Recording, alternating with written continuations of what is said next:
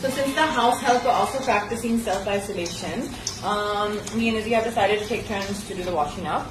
So I thought I'd do a little refresher tutorial for those of us who have forgotten a bit.